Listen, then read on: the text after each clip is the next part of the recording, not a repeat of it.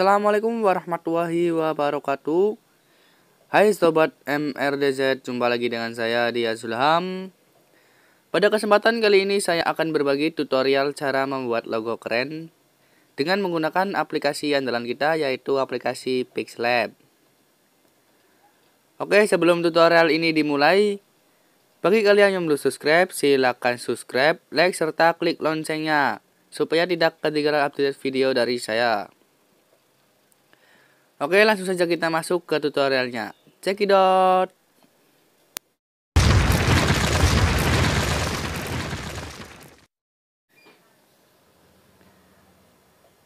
Lalu kita masukkan mentahannya. Kita pilih yang ini ya. Kita pilih from gallery.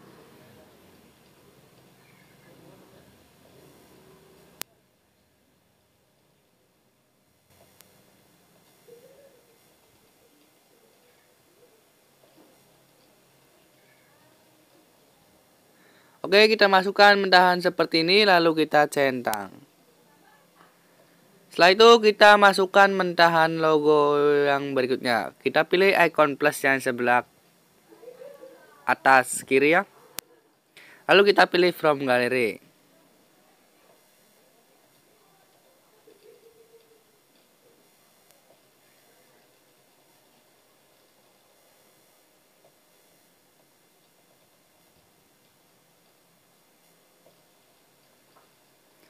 Oke, kita masukkan mendahan logo seperti ini.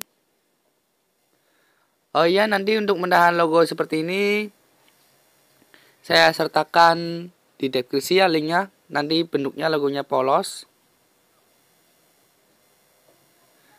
Oke, lalu kita pilih icon plus.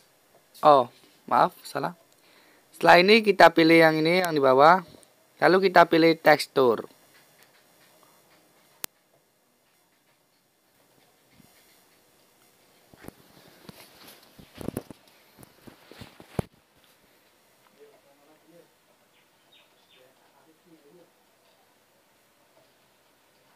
Oke guys, kita masukkan tekstur sepertinya.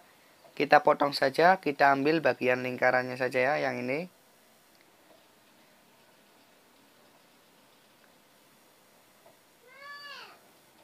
Oke, kalau udah kita centang. Hasilnya akan seperti ini. Lalu kita centang. Kita masuk ke menu emboss.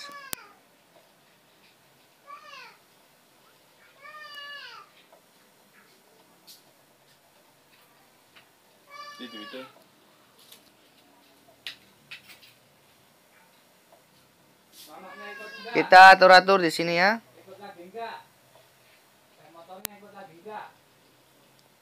Kita pilih 3D.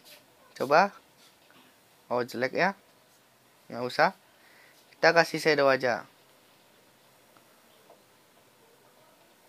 Kita kurangi blur radiusnya.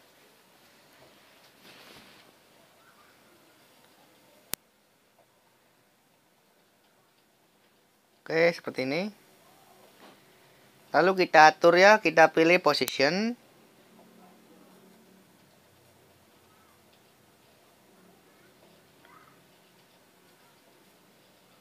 Oke, lalu centang.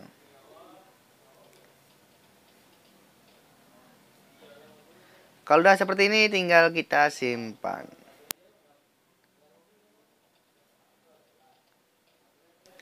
Oke, sekian tutorial dari saya. Semoga dapat dimengerti. Jangan lupa like and subscribe. Wassalamualaikum warahmatullahi wabarakatuh.